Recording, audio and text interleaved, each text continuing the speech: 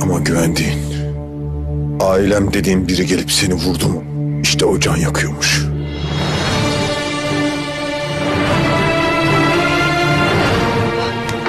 Gizli de oturacağız seninle burada.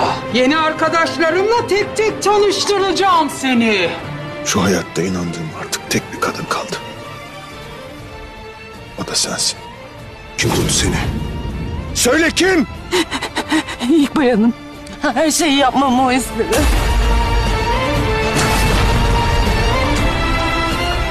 Sen, sen beni sırtımdan vurdun. Neden?